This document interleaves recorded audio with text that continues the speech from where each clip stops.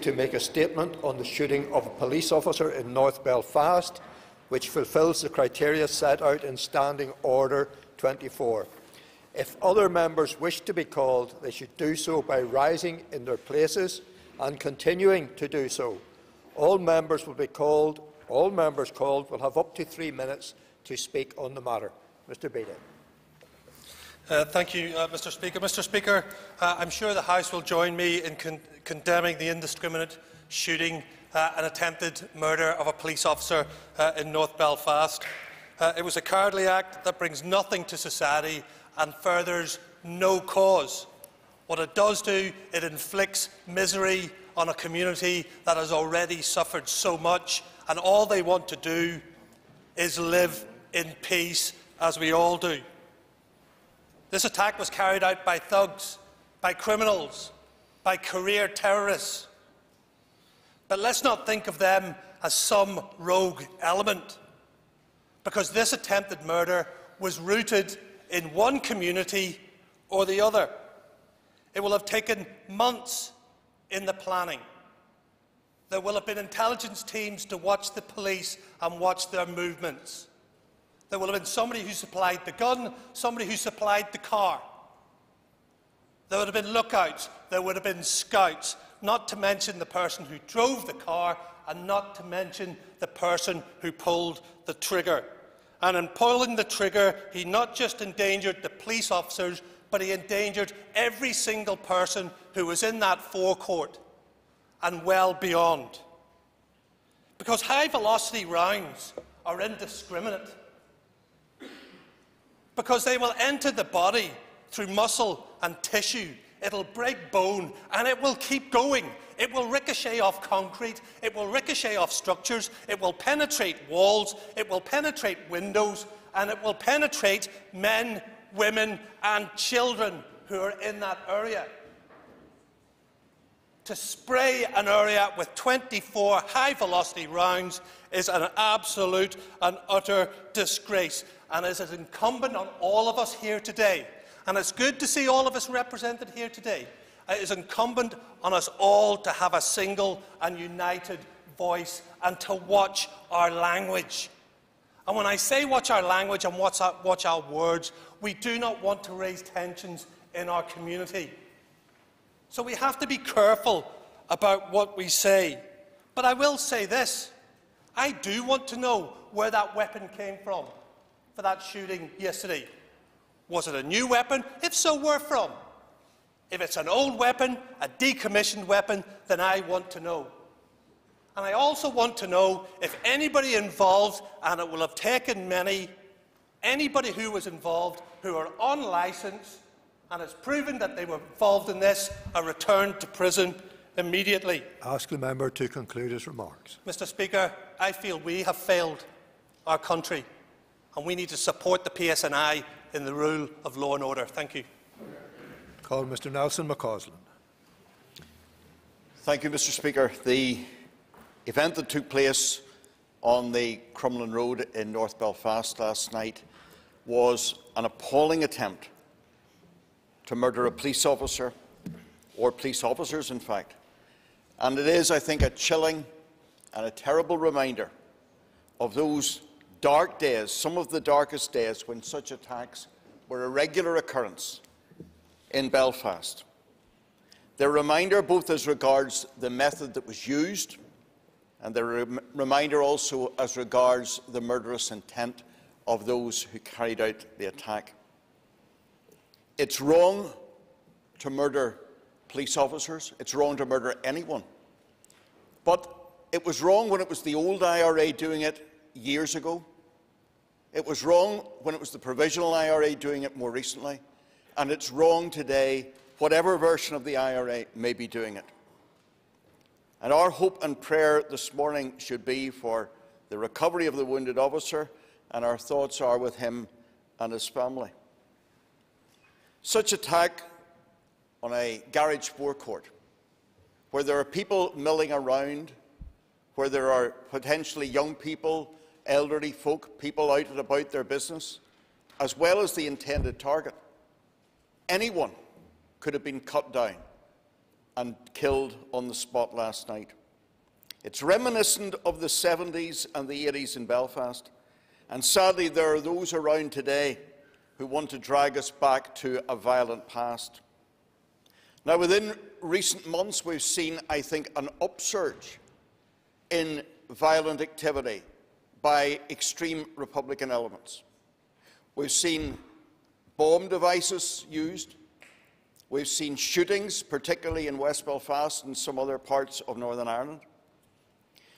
And it's clear that there has been an increased level of activity on top of the ongoing attacks against police officers and prison officers. Fortunately, on this occasion, the intended target wasn't killed. Uh, fortunately, on the previous occasion when there was an attack on the Crumlin Road, uh, not so long ago, the uh, intended victims were not killed. But it is a stark reminder to us of the responsibility of all of us to make sure that those who are responsible for such attacks are brought before the courts. Every support should be given to the police Member in dealing with them remarks. and those who carry out such murderous attacks. Call Mr Gerry Kelly. Kim And may I join with uh, all the other members I, I resume in the Assembly. I also was an elected representative for North, for North Belfast, uh, personally and, and for Sinn Féin in the first instance to hope that this, uh, this young uh, police officer, and I understand he was very young, in his early 20s, um, a probationer, um, recovers uh, fully from uh, his wounds. Um, it could easily have been talking about a death here today and a family uh, suffering that death instead of, uh, hopefully, uh, the recovery that we, are going to see. And as other members have said, it could also have been in an open, an open court of uh, a garage, other people killed or maimed in that. So let me condemn it absolutely and outright. Let me also say, as a representative for that area, and I think all the representatives for the area will be of one voice in this, is that the people who vote for us, and I mean that right across the board, are absolutely opposed uh, to the people who are involved in this. I would say that the people involved in this are most likely the same people who have attacked their own community, who have killed people within that community and maimed people within that community in the not so distant uh, past, in fact, in the last uh, number, number of months. So I think there is a duty on everyone and anyone who uh, has any information which uh, could lead to the apprehension of those involved should bring that forward uh, immediately. Uh, so bring forward that information. And um, I hope again that uh, the young man uh, has a full recovery and that we don't have an incident, that these people know that they should get off the backs of both the local community and the overall uh, society of which we belong. Call Ms Nicola Mallon. Thank you, Mr Speaker. I rise on behalf of the SDLP and the many, many constituents who contacted me last night to express their shock and anger at the despicable gun attack on an officer out on duty uh, trying to serve and protect our community. And I add my voice to the unreserved condemnation of that attack, and I would urge anyone with any information, no matter how small it may seem, to please pass that information on to the PSNI. I express here in this House today my best wishes and my concern to that police officer. Indeed, last night when I was speaking with his colleagues at both a local and senior level, I asked that those wishes were passed on and the wishes of the people, many of them in Ardoyne and right across North Belfast, who contacted me last night to ask that I would do that for them on their behalf. There are many, many issues which divide us in this House, but it is clear today that there is an issue that unites us and that is our unreserved condemnation of what took place last night. The truth is, violence has no place in our society. All it serves to do is to create heartache, pain and suffering. And as each and every one of us in this House knows, there are far too many families in our constituencies who endure that pain and suffering on a daily basis. So I think it is right that we stand united and we send that very strong message to those who were behind the attack last night, but importantly to the people right across North Belfast. We will stand against this, we will stand opposed to this, and we will stand up for those who deserves. Thank you, Mr Speaker. Call Ms Naomi Long. Speaker, um, first of all, I would like to extend my sympathy and my best wishes to the young officer who was wounded in last night's shooting in North Belfast. I hope that he makes a full recovery, both physically and mentally, from the impact of his injuries, and I want to send good wishes today to him and his family. I also want to extend my best wishes to his colleagues, both those who were at the scene last night, um, but also those throughout Northern Ireland whose sense of safety has been shaken again as they go about serving our community and securing our safety. Mr Speaker, my thoughts are also with those members of the public who were in that garage last night, going about their business when this reckless attack took place. This was not an attack on an individual police officer or an attack on the PSNI. This was an attack on our entire community. It says all that we need to know about the kind of people who were involved, that they would attempt to kill a person who is serving their community and do so, so with such reckless disregard for the community in which they serve. These people are nothing but despicable cowards. They have nothing to offer the people of Northern Ireland, so I focus my thoughts and my best wishes on those like the young officer who was affected, who are wanting to give service to their community and to make it a better place, and I send our best wishes to him today. Well, Ms Clare Bailey. Speaker, and I'm speaking for all members of the Green Party today um, in joining the calls and condemning the attack that had taken place last night. I was very shocked as the news was broke last night um, for many reasons, but I wasn't long home when I seen that breaking news happen. And I wasn't long home from my, my local garage forecourt, but that forecourt is not simply um, a garage, it's also a corner shop for my area. It's where I was going for a pint of milk on a Sunday night, and I'm sure that many people at that garage last night where the attack happened were doing the same. They were getting milk for the fridge, they were getting children's packed lunches, and they were filling up their cars. It was a public area. There's absolutely no excuse for what took place. It is not heroic to rain bullets in these circumstances. It was a terrible attack on a public servant and the wider public. But what will be heroic is when that police officer, and I hope that he makes a full recovery, and I hope that he returns to his duties in trying to do all he can to protect our community and make us safer, that when he returns to duty, he will be the hero, and I wish him all the best. It's good that all members in this House can stand in unity and unite and stand against those who want to bring fear and violence into our communities. Thankfully, the officer is in a stable condition, but things could have turned out very differently, either for him and anybody else in the vicinity. The local community are very angry at what's happened, and we must continue to work to make sure that this does not happen again. Thank you. Call Mr Gerry. Mr Speaker, and uh, the futility of yesterday's shooting on the Crumlin Road uh, should be clear to everybody, and nothing, nothing can be achieved from carrying out such attacks. And people before profit are calling for an immediate cessation uh, to all paramilitary actions.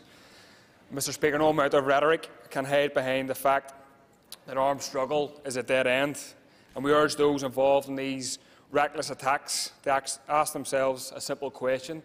What has been achieved? Decades of armed struggle by the Provisional IRA did not end in victory. The much smaller campaign carried out today is even less likely to achieve anything. Needless suffering and the imprisonment of another generation of people is all that will result. And, Mr Speaker, politicians from the establishment parties will, will queue to take turns to condemn this attack, and they should do, of course. But their words, their words will ring hollow, given the millions of pounds that they are funneling to paramilitary-linked organisations, particularly within loyalism. So too will the calls from senior PSNI officials to challenge the scourge of paramilitarism. And was it that, Mr Speaker, only a few months ago that the BBC aired a damning documentary that showed a cosy relationship between the PSNI and paramilitaries is still alive and well in the new Northern Ireland. Plenty of condemnation, therefore, but little consistency uh, from the establishment. People before profit, on the other hand, are consistent in our approach. We want to see an end to all paramilitarism. Attacks like the one on the Crumlin Road will only reinforce division and distract from the pressing need for a united movement that will challenge the corruption and austerity of the establishment. Thank you. Call Mr Jim Allister.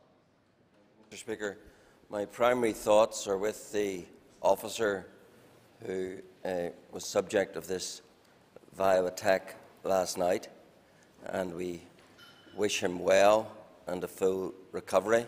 It's a reminder to us of how the police and security services stand between us and those with murder in their heart. And though this officer happily escaped death, that was no thanks to those who set out patently with murder in their heart, using weaponry most likely to occasion murder on even a mass scale. Uh, so it is a quite shocking situation. But let it be said, it is no more shocking, no more vile, no more unjustified than the terrorists of the IRA or anyone else who for years inflicted such horror. Those who with murder in their heart went out and did murder. And I listened today to condemnation from Mr. Gerry Kelly, himself a convicted terrorist, who to this day, to this day, has not acknowledged that his terrorism was wrong, that it was unjustified, it was uncalled for, but rather still honours and glories in, as does his party, those very acts of terror. And what does that do today? Not just speaks to their character, but it speaks to today's terrorists, gives them succour, provides a crutch for them, and causes them to conclude that if it was okay for the Provos, it's okay for them. And until those who represented that previous terrorism acknowledge and renounce it, then that crutch is going to continue to be provided. Could I make one other point? If, and I hope someone is, and maybe hopefully more than one, made amenable for this crime, I trust when they are arrested, they will not be easily, as was the person charged with the attempted murder of David Black, admitted to bail. And their bail terms will not be made so easy if they are admitted to bail, and they shouldn't be in the first place. The member that will conclude his remarks. There should be no bail for anyone charged with an offence such as this. Call Ms Claire Sugden. Uh, thank you, Mr Speaker, and I welcome today's matter of the day um, and I appreciate Mr Beattie for tabling it. Um, I also welcome the widespread condemnation that has appeared from all sides of this House, because rightly so, Mr Speaker, this uh, issue um, uh, serves to unite us. Uh, Mr Speaker, I have no doubt that this attack was intended to kill. Thankfully, the officer um, uh, is in a stable condition, but we could have been hearing of a loss of life this morning because this is not just an attack on our police service, this is an attack on the community, this is an attack on our country. It was reckless, multiple automatic uh, rounds fired into a public space. I am disgusted. Mr Speaker, there remains a continued threat against police officers and prison officers in Northern Ireland. And I think we can't become complacent. And whilst there is political instability happening in Northern Ireland right now, this threat has continued right through that and others will see this as an opportunity, an opportunity to take advantage. And I think if I can give a clear message to this Assembly today, is that we, as elected representatives, can ensure that they don't take advantage of that, that we do stand united. Um, whilst I stand here as the representative for East uh, Londonderry, I also have an interest as Justice Minister, and I have been keeping in close contact with the Secretary of State and the Chief Constable on this issue. Um, it's something that does concern me. From the outset of the political instability, I was always concerned that someone would take advantage, and I hope this isn't um, an example of that. Um, and I certainly think um, it, it's if we can move forward, we have to move forward in the right space because we can't return to the dark days of the past, Mr Speaker. And I think um, we, we, all should be condemning uh, that this most dreadful incident today. Um, on, on, another note, I, I want to um, just pay tribute uh, to the police service in Northern Ireland. In my experience as Justice Minister particularly, I've seen the hard work they do. They put their lives on the line every day for us in service of the people of Northern Ireland, and we can't underestimate that. For someone as cowardly to take um, an opportunity as, as these despicable individuals have done so last night is, is, is nothing short of disgusting. And I think um, uh, that's the clear message that we have to send out as the United Assembly today. Thank you. Call Mr William Humphrey. Thank you, Mr Speaker. And can I join with others in condemning the attack last night, a murderous attack to kill a police officer in my constituency? Just before half past seven last night, I heard the shots, I heard the sirens and then the helicopter. And then it was very clear something had seriously gone wrong. I spoke to police and I started receiving calls from constituents and I, I heard very clearly that there had been a shooting at the Edenderry uh, filling station on the Crumlin Road. I visited the site and I have to say I spoke to some of the officers' uh, colleagues who were visibly shaken because they had been serving with him only earlier that day. Some of them whose lockers were beside his in the station. I spoke to constituents who were there on the scene and today I want to express my revulsion at this attack, send my thoughts to the officer, to his family and to uh, the, the, his colleagues who are so clearly worried at this time. This is the first shooting of a police officer for 80 years in Northern Ireland. Clearly an attempt by evil people to kill police, but also to kill the general public. Totally random and indiscriminate, as others have said. Gunfire into a forecourt of a garage in a built-up area with Edenderry Gardens to its left and Edenderry Lofts to its right. Gunfire across a main arterial route in our city into a forecourt with 12 members of the general public and the police uh, there at that time. This morning I visited the manager of the petrol station's home and she told me that, that there are gunshots inches from gas tanks and fuel pumps. So we could have been looking at real carnage, not just in terms of the murder that this police officer could well have had to face and his colleagues, but the general public, but explosion from reckless, inhumane, evil people who frankly have to be brought to justice and removed from society. No politician and no party, and I'm pleased to hear today, should give them any succour or support or credence at, at any time ever. Mr Speaker, there's also a clear disruption to the business life in North Belfast this morning, but good these people don't think of that. The disruption to that business, that they lost the night's trading last night, and today the garage will remain closed all day, as was the Crumlin Road this morning again, and traffic uh, chaos ensued. Mr Speaker, we all must stand together against violence, against intimidation and against threats. I am concerned that this sort of violence follows a vacuum that's been created in Northern Ireland and that evil people might fill it. That is a danger I think we face, and that is a reason why this community this Assembly and our people in Northern Ireland are looking for leadership. We must all come together to show these people that they can't win, they won't win. The people of Northern Ireland do not want to go back to the bad old days. We remarks. want to see Northern Ireland moving forward, and we want to see an end to this evil from evil people. Call Mr Ross Hussey. Speaker, and I begin by passing my best wishes to the police officer who was seriously injured last night and to his colleagues in the police service of Northern Ireland. There's no doubt we will all sit here today and condemn this murderous attack, which could have resulted in the death not only of a police officer but of civilians, as has been highlighted by my colleague Captain Beattie. This attack clearly was not something that happened on a whim. And throughout the last term of the Assembly and this term of this Assembly, we have had incidents throughout Northern Ireland in my own constituency of West Tyrone and in the neighbouring constituency of Foyle, the Police Service of Northern Ireland recovered many weapons and explosives, all belonging to terror groups, all belonging to terror groups that don't have the guts to give themselves a name, who at times call themselves the Continuity IRA or whatever. I have a name for them, and that is cowards. That's all they have ever been, and that's all they ever will be are cowards. 24 years ago today, a 21-year-old Royal Ulster Constabulary officer was shot dead in Londonderry. 21 years old and his whole life in front of him. And Constable Michael Ferguson was done to death by the same sort of individual that tried to kill the police officer last night in Belfast. There is no difference. And for all I know, and for all we know, the same weaponry has been used.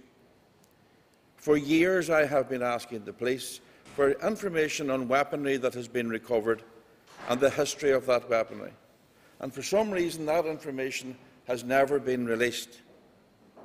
Why? Can that weaponry be traced back to the IRA? Is there a possibility that groups who were IRA took their weaponry with them? Of course there is.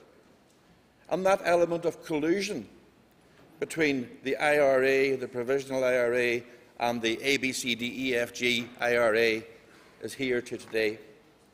And that weaponry must all be surrendered to the police. This is my last opportunity to speak to this Assembly. Some of you may be glad to know I am retiring from politics. But I hope that in the next Assembly, no politician has to stand up and condemn a murderous attack on a police officer. Anyone who is prepared to wear the uniform should get the support of this Assembly. Member conclude his and I, I pledge my support to the Police Service of Northern Ireland, incorporating the Royal Ulster Constabulary GC, and I hope everybody else does. Call Mr Edwin Poots. You, Mr Speaker, um, last night was a stark reminder of what many of us grew up with in this country and what many of us heard in the news reports all of the time, and that was of murders, attempted murders uh, taking place. Firstly, I would like to wish the police officer well in his recovery, and we are thankful that um, his injuries are, are not life-threatening. This has not been a success for those who uh, set out last night. Success for them is the same outcome as happened with Constable Carroll, with David Black and with Adrian Ismay, and indeed other civilians who have been targeted by the same individuals. But it stands as a very stark reminder to us all. This time 10 years ago, we were discussing with our members and with um, the wider public uh, the outcome of St Andrews and whether we should proceed uh, into government with Sinn Féin, which was a hugely difficult decision for us. But we took that decision because we didn't want to go back we wanted to go forward. And we are now in a similar circumstance in Northern Ireland where perhaps others have greater problems. But the question that has to be posed is are we going to go back or are we going to go forward? Instability creates vacuums, and in vacuums, evil people step into those vacuums. And I think it's incumbent upon all of us, each and every one of us in this House, to commit ourselves to ensuring that we continue to provide a stability for all of the problems and all of the wrongs of Stormont. We continue to provide stability and we continue to provide leadership and we continue to be there for the people of Northern Ireland because we have had an awful, horrible, bloody past that I had to grow up in. And I don't want my children or my grandchildren to grow up in it. I want these people who carried this out last night to be marginalised, sidelined, incarcerated, and serve very long sentences for what they do not to, create, get, not to be given the opportunity uh, to actually go out there and carry out more of this in the name of Ireland or of any other cause. Call Mr Trevor Lunn. Mr Lunn, you have two minutes. Thank you very much, Mr Speaker, and I join with everybody else who has spoken in utter condemnation of a cowardly attack on a police officer, attempted murder, bullets sprayed across a petrol forecourt. I don't think whoever did this really cared if there was collateral damage, somebody else injured, or a gas tank, or a fuel explosion. That, that they're indifferent to these kind of things. I understand that from the media this morning that 43 years ago there was a, an attack virtually on the same spot, and two civilians were killed. Uh, so, in 43 years on, we're still seeing bullets flying on the Crumlin Road, shot by somebody who clearly has a different view of the future of the state of Northern Ireland at the present time and has nothing whatsoever to offer our society in terms of progress or sensible thought. Mr Speaker, the, the, the PSNI nowadays can operate with, with reasonable freedom in terms of their own security. They're, they're able to use petrol stations and takeaways. And the reason for that is that they have achieved the confidence of the community. And the community generally has accepted that they operate without fear or favour. That, that actually assists a dissident, if it was a dissident, in, in terms of being able to mount this kind of attack. I, I completely agree with Mr Beattie when he said that one person couldn't have done this on their own. And the Chief Constable said the same thing this morning. It has to be a gang, it has to be organised, and um, I do hope that the person or persons responsible can be brought to justice. I pray for the full recovery of the young police officer. I hope it doesn't put his colleagues off in any way. I hope it doesn't put off other young people who would like to join the force, because that's the last thing we need, and that would be a success for the people who did this. Thank you. Members, that concludes the item. The first